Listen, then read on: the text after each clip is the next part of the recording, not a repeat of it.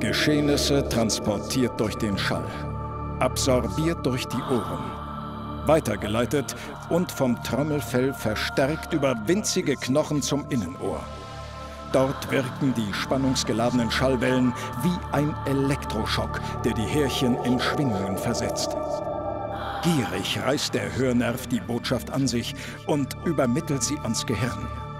Aus der Schallwelle entsteht eine Information. Kapillaren im Körper verengen sich und das Herz schlägt schneller.